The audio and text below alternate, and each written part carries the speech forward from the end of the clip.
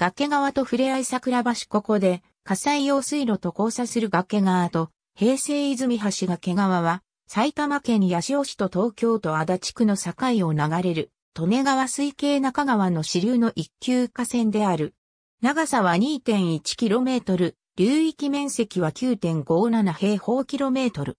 東京都足立区新名、むつぎ地区と埼玉県八潮市崖、浮塚地区を隔てている。ゆるい、S の字を描くように、曲流し、川の西端は、綾瀬川と東端は中川にそれぞれ接し、さらに中間で火災用水路と交差している。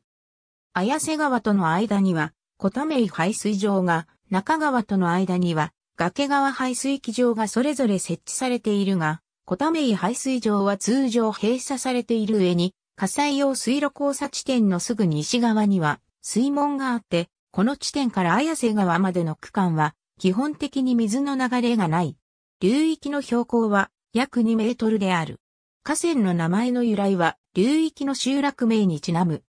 2008年度より埼玉県の水辺再生100プラン事業のもと、ヘドロ除去や護岸を整備し、親しみやすい川へ向けた整備が行われた。足立区側の岸には、新名、むつぎ遊歩道が整備されている。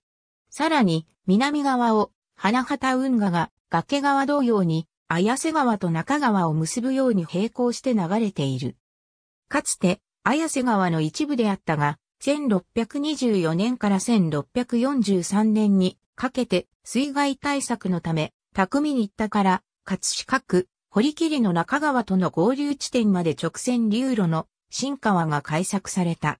それに伴い、旧川は、せき止められ、火災用水の水が取り入れられるようになった。1729年には、東端の中川とも遮断されて、川としての機能を失い、以来、崖小田名と称されるようになった。崖という文字は、実代に水準漢字であるが、この河川並びに、八潮市崖の地名を表記する以外には使われない。崖川と崖川排水機場。ありがとうございます。